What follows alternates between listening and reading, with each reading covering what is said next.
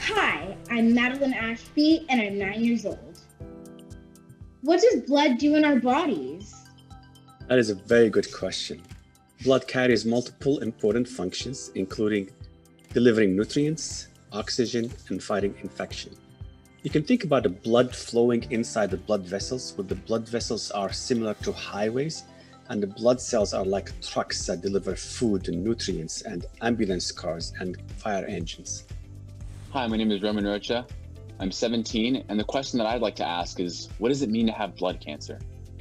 Blood cancer starts from normal, healthy blood cells. And because blood cells flow everywhere in the body inside the blood vessels, blood cancers can start anywhere. Could be inside the blood vessels, could be in the bone marrow, in the liver, in the lungs, in the brain. It sounds scary, but many blood cancers are curable. Hi, I'm Krista Kinnear, an Associate Principal Scientist in Oncology Discovery. Why is hematology so exciting?